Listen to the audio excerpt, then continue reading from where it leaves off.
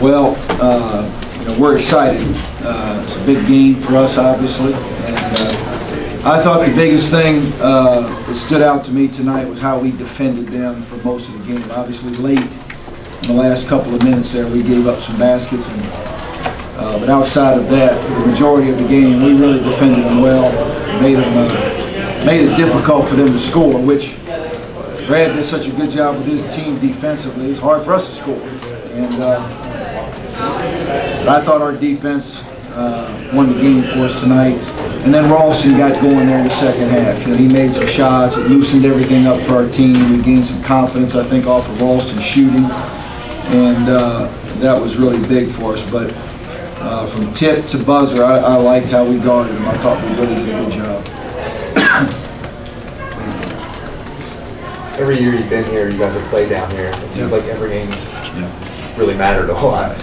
You know, kind of your thoughts on what this, this arena's meant. Well, this is a, uh, first of all, you know, Brad does a great job. He- He's got these guys where they, they're hard to score on. They're just, it's just hard. And, uh, you know, at halftime, it's 20 to 21, I think it was. And, uh, you know, I felt good. I felt good. We only had 20, but they only had 21.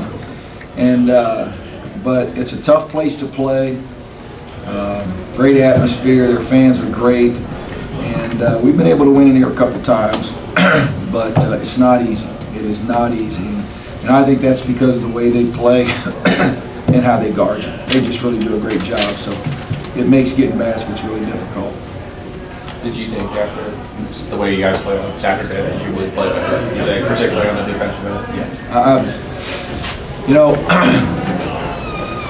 get home from Boston and, uh, you know, it, it's almost like when you have a big win, you want to just forget it. It's hard to do. We didn't do a very good job of that. When we got tough loss, you just got to forget it. You just got to get past it. Um, it's not one of those things for me that I wanted to walk into practice and yell and scream and throw chairs and all that kind of crazy stuff. We got our legs back under, underneath us.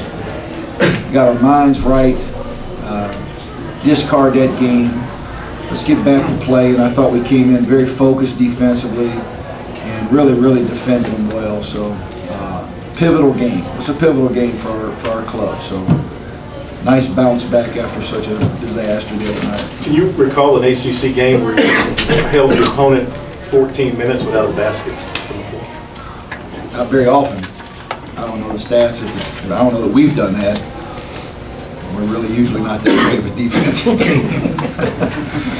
this year we're a little better, but uh, I just tonight, well, I, I thought we were just locked in. We just really locked in. We locked in on their personnel. We talked a lot in the last couple days about each particular player and what they do. And you know, sometimes with players, you- you're not sure how much of that really registers. I thought to, in the last couple days tonight, it really sunk in. And Eddie did a really good job with that. Thought BJ helped us around the basket, blocked some shots, had a presence in there. Um, Lennard Freeman just did a great job. You know, Lennard, Lennard's one of those guys that you know, he may not fill up the stat sheet for you, and, and uh, the boy does a lot of things to help your team. Sets screens at the right time, gets a put back, switches defensively when when it needs to be, and just does some really smart things for our team. And I thought that was uh, you know really important. Austin said he can't figure out this team a little bit, just the ups and downs. We're the definition of Dr. Jekyll and Mr. Hyde now. I mean, we're all over the board, and uh, but one thing I do like is our guys keep coming back. They keep competing, and I think a lot of times we all forget uh, that this is a young group. You know, we we lost three starters off an NCAA tournament team last year, and so th- this has been a group that's kind of learning, and they're they're coming, and we've had ups and downs, and we've been all over the place, but. Uh, you know, they keep coming back with a great attitude and they keep competing. So uh, obviously we got to do that Saturday. We got a big game Saturday with Syracuse, but um, you know, I like the I like our team. I really do. We just got to keep getting better.